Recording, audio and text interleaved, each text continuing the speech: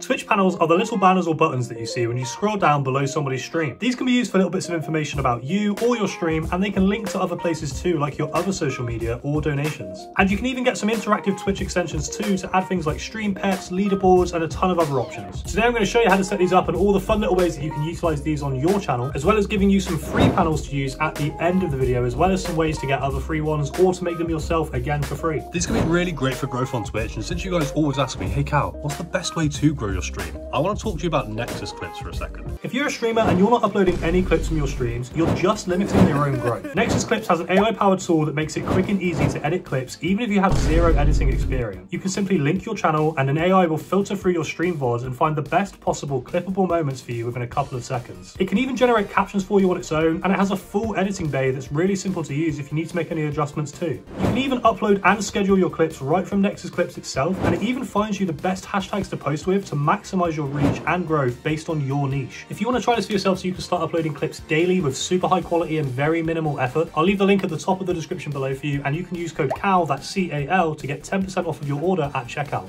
And hey, that's a pretty good discount if you ask me. Uploading clips really is one of the best ways, in my opinion, to grow your stream. Now you have no excuse, so go make some clips and skyrocket your channel's growth.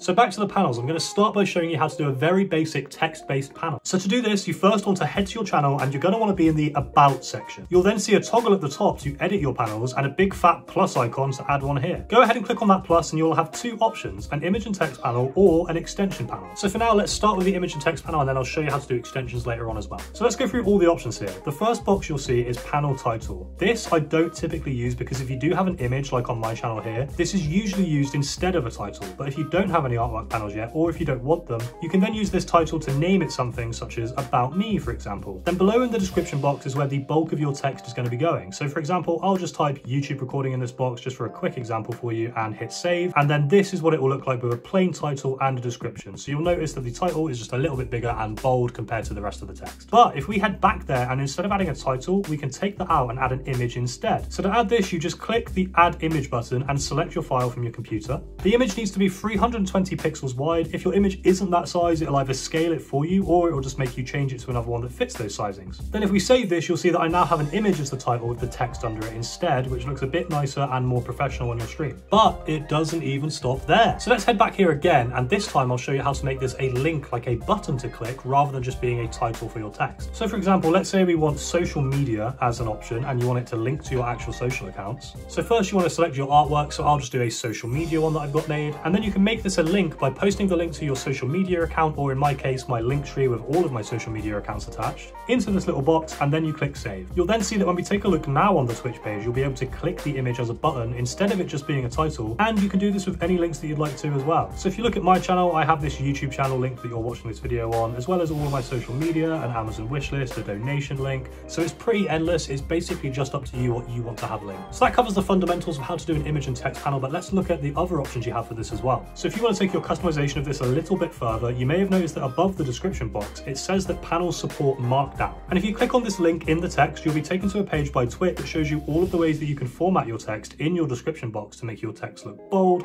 to have headers, lists, or line breaks, and a whole bunch of other options too. So if you're interested in any of that to make yours look a little bit different to everyone else's, I'll leave the link in the description as well, just in case you need it, but you should be able to find it when you're customizing them. And this will have all the options for you that you can use straight on Twitch itself. If you're finding this video helpful so far, a like would go a long way to help other streamers like you find this content for them to help them as well. And subscribe if you want to stick around to take your channel to the next level by seeing other videos like this. But let's move on to extension panels. These are really cool and they can add cool things like this that I have on my channel, for example. This is a leaderboard for bits and subs. This is an emote showcase to show people which emotes they'll get if they subscribe.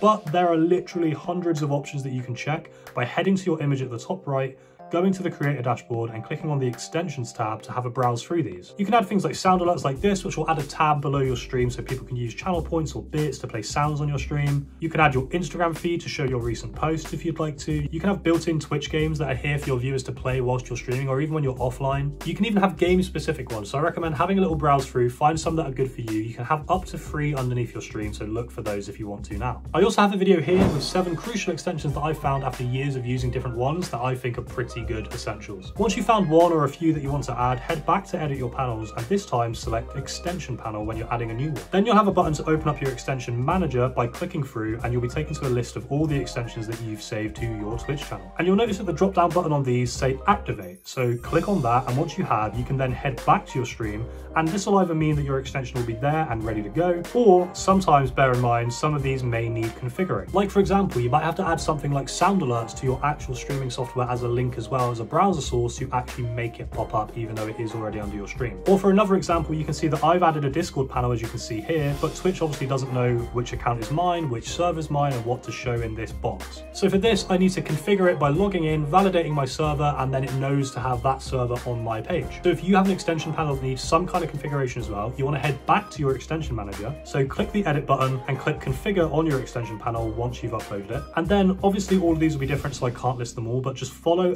any relevant instructions which it has, which is always on the extension if there's anything extra that you need to do. And then you'll be good to go and your extension will be set up on your channel and look like this, for example, if you have a Discord one. But there we have it. That's how you take advantage of Twitch panels in all of their many forms across Twitch. But as I said at the start of the video, if you want some free panels, there is a link in the description to my website. There is a free page there full of art, not just panels, other stuff as well. So feel free to help yourself do any of that that will help you out. It's also worth looking around because there are other sites online that offer free options for this too. I hope this helped. Here's another video that you might find helpful. Good luck with customizing your stream and I hope to see you in another video soon.